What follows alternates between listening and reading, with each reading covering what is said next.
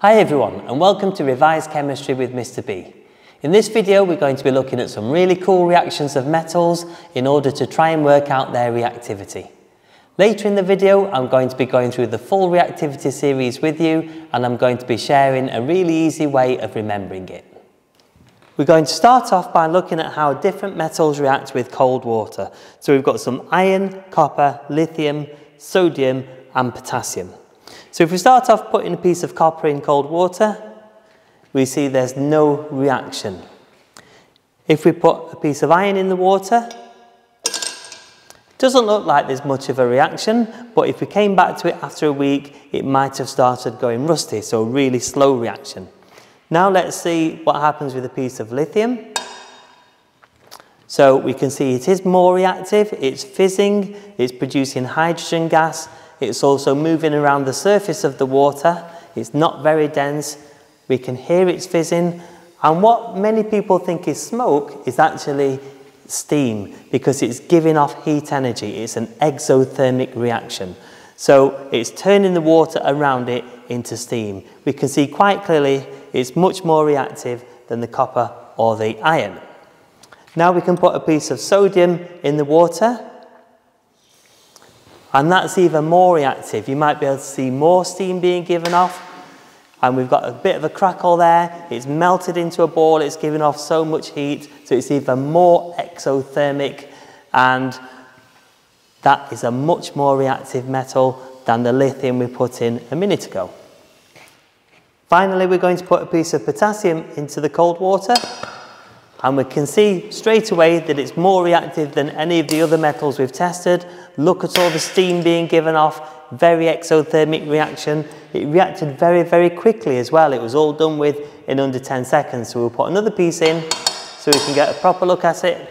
And we can also see it's set on fire and it's burning with a lilac coloured flame and like the other ones, it's also moving across the water. So by putting metals in cold water, it's given us a really good indication of how the different reactivities are for these metals. Potassium's clearly the most reactive out of the ones we've just tested, whereas copper that had no reaction, that's the least reactive.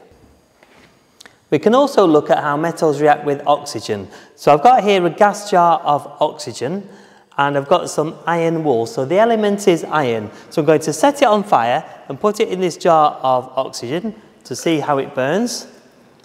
And then we're going to compare that to magnesium to try and work out the different reactivity between magnesium and iron. Let's see now how magnesium burns in oxygen.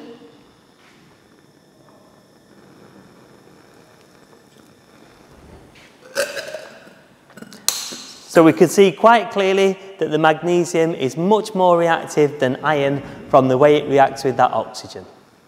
I'm now going to see how different metals react with hydrochloric acid. In each of these test tubes, I've got 20 centimetres cubed of hydrochloric acid, so it's the same volume, and it's also the same concentration because each one is one mole per dm cubed concentration.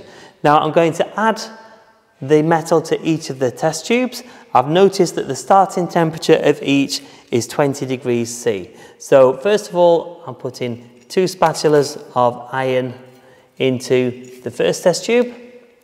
To the middle one, I'm going to add two spatulas of magnesium. And the third one, I'm going to add two spatulas of zinc. So we can try and compare the reactivity of these three different metals.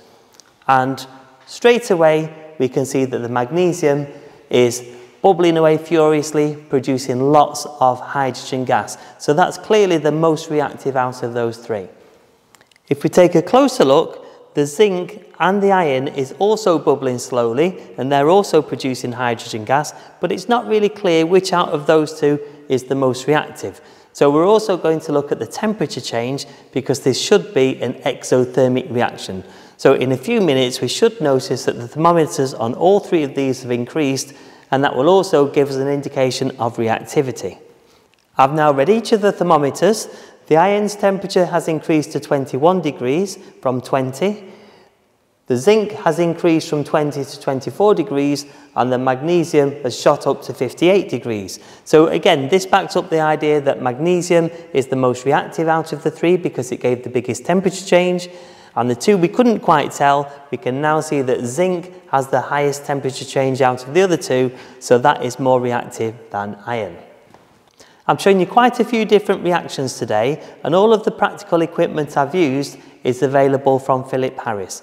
There's a link to the Philip Harris website in the description below my video.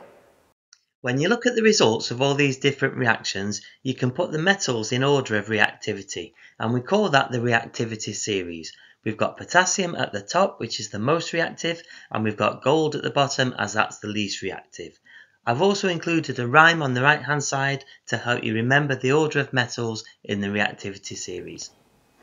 So by observing the different reactions of metals with water, oxygen and acid, we've been able to build up a reactivity series.